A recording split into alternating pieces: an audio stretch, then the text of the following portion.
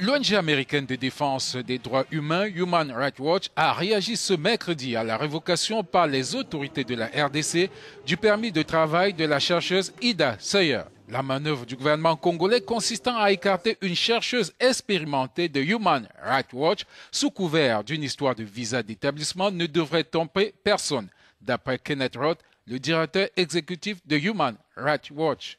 Il ne s'agit là pas uniquement de forcer Ida Sayer à quitter la République démocratique du Congo, mais une tentative effrontée d'étouffer les rapports sur la répression violente perpétrée par le gouvernement contre les partisans de la limitation des mandats présidentiels, a souligné le défenseur des droits humains.